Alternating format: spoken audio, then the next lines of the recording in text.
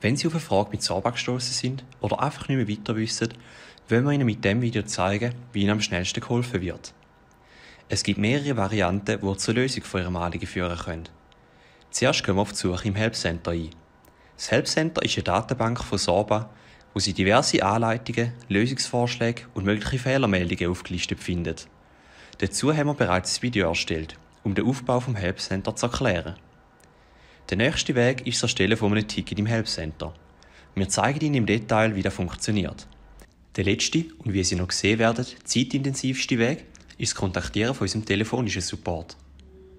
Fangen wir doch gerade bei unserem Help Center an. Das finden Sie verlinkt auf unserer Hauptseite oder direkt unter der Adresse support.zora.ch.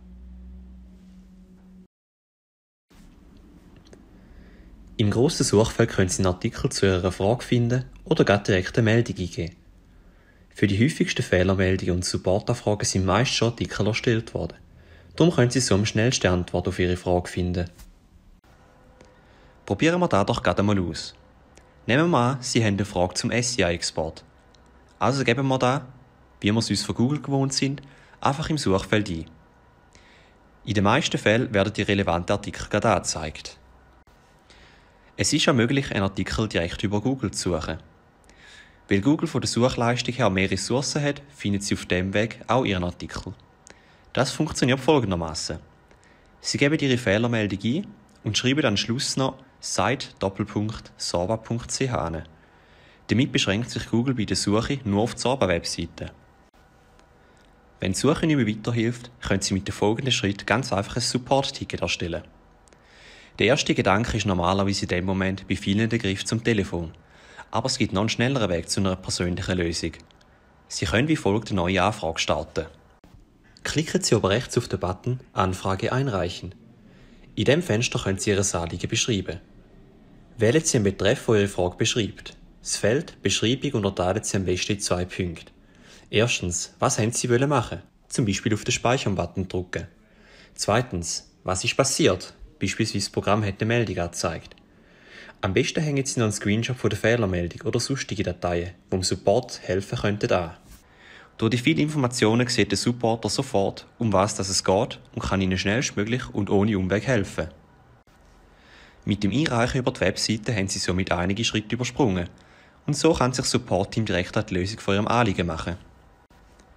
Nachdem Sie Ihr Support-Ticket gestartet haben, können Sie in der folgenden Ansicht Ihre laufenden und vergangenen Supports anschauen. Einfach oben rechts bei Ihrem Namen auf Meine Aktivitäten klicken und Ihnen erscheint die Auflistung. Auch wenn der erste Eindruck ist, dass eine Frage per Telefon am schnellsten gelöst werden kann, liegen auf dem Weg meistens noch einige Zwischenschritte. In der folgenden Grafik zeigen wir Ihnen eine Übersicht, wie der Prozess für die verschiedenen Wege zur Lösung für Ihr Support-Ticket abläuft. Ein Support per Telefon läuft folgendermaßen ab.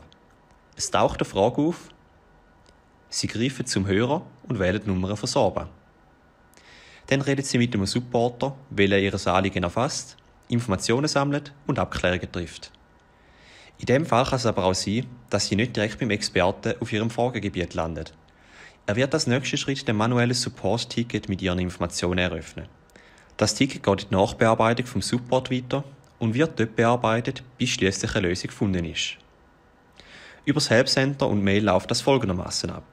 Es taucht eine Frage auf und Sie erstellen mit den nötigen Informationen und Fotos das Ticket im Help Center oder per Mail an support.saba.ch. Bei unserem Support wird automatisch ein Ticket mit Ihren Informationen erstellt.